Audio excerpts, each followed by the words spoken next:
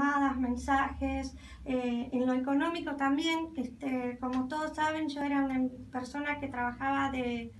empleada doméstica y a causa de todo esto yo tuve que renunciar al trabajo y hoy por hoy no tengo ningún sustento como para decir, bueno, sí tuve la ayuda de la gente, pero como se saben, el dinero vos recibís, como lo recibís, lo vas gastando día a día con el, con el tratamiento de, mm,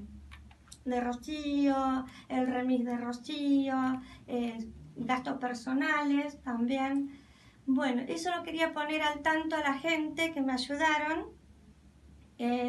ponerme en la transparencia, decir, bueno, de saber, bueno, estamos ayudando, pero qué bueno que tenemos noticias de, de Rocío, que la mamá habla, cuenta. Eh, fue un caso muy fuerte que atravesé y gracias a Dios, Rocío volvió el 31 de octubre